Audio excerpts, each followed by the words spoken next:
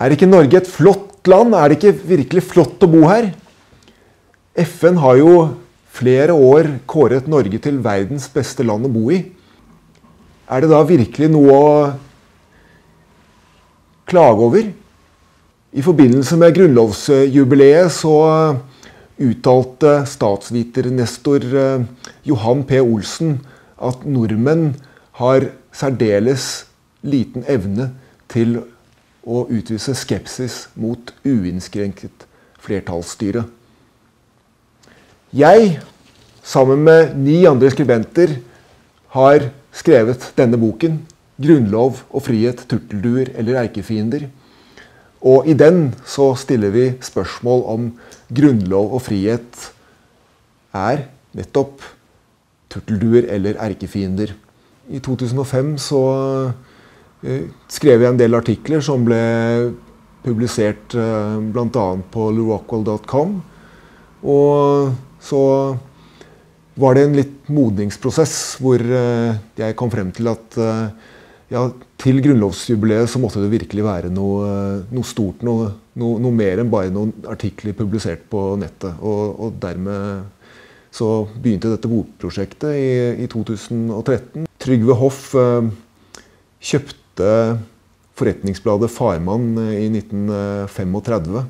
Han uh, skrev bl.a. Uh, noe veldig provoserende til grunnlovsjubileet i 1964. Han skisserte hvordan Grunnloven burde skrives hvis grunnloven var, grunnloven var i henhold til praksis. Så konkluderte han allikevel med at han ikke ønsket å endre Grunnloven fordi det var en viss mulighet for at senere generasjoner kunne våkne og se hva som virkelig skulle til for frihet.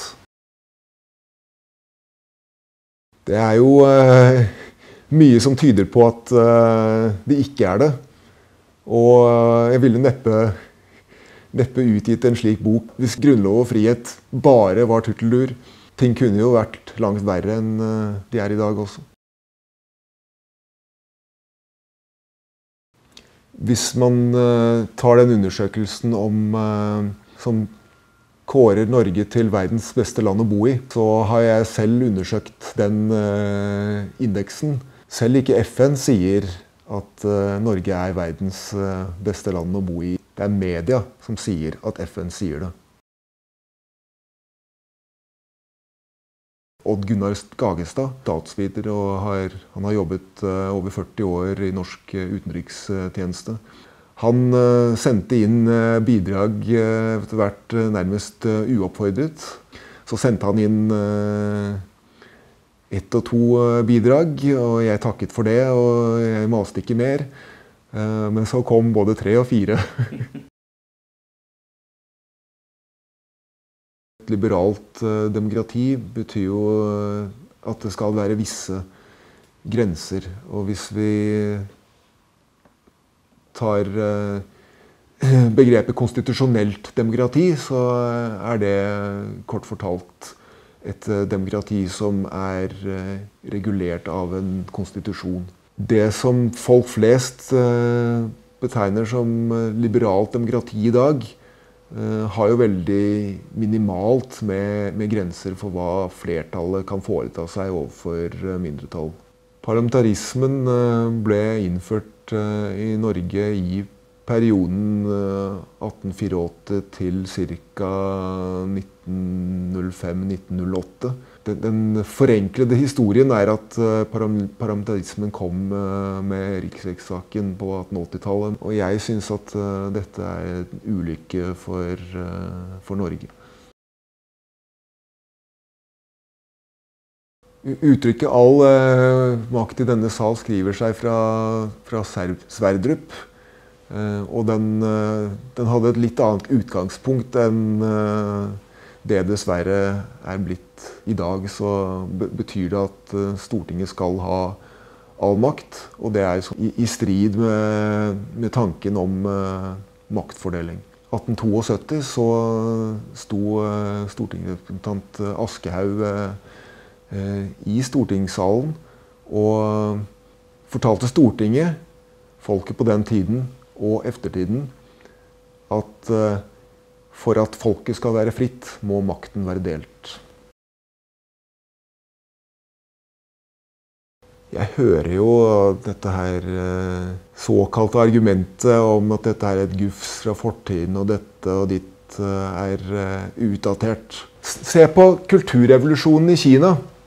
Spør de 70 millionene som gikk med om det nye var bedre enn det gamle.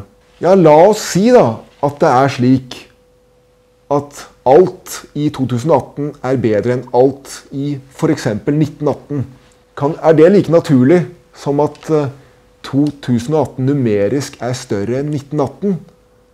Dette er noe av det mest tåpelige som frembringes i samfunnsdebatten.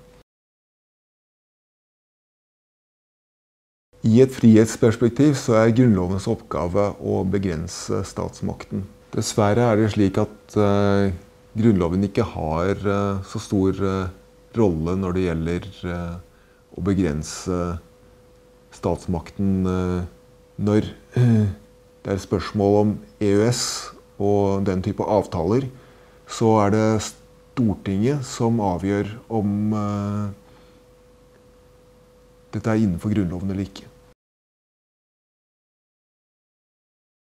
Jeg har foreslått å begrense statens andel av eh, økonomien, det som staten i vid forstand Eh, som da inkluderer lokale myndigheter.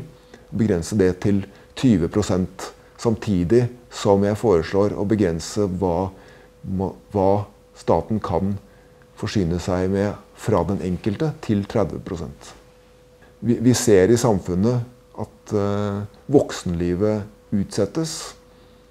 Uh, samtidig som at uh, stemmerettsalderen har vært satt ned fra 25 til 18 Eh, I og med utsettelsen av eh, voksenlivet eh, Flere og flere utsetter det å komme ut i arbeid. Så burde stemmerettsalderen vært hevet fra det opprinnelige 25. Og jeg syns det er da beskjedent å, å, sette det tilbake til utgangspunktet. Unge i dag de får veldig mye støtte fra staten. I form av studiestøtte og finansiering av studieplasser. De har ikke noe akkumulert bidrag til statskassen, men eh, får veldig mye ut i andre enden. Hvis man får redusert det politiske engasjementet hos de unge, så lærer de kanskje at uh, livet handler om langt mer enn politikk. Det er kanskje ikke sunt å, at uh, man har så lav stemmerettsalderen. Uh, gi ungdommen alkohol før uh, politikken tar dem.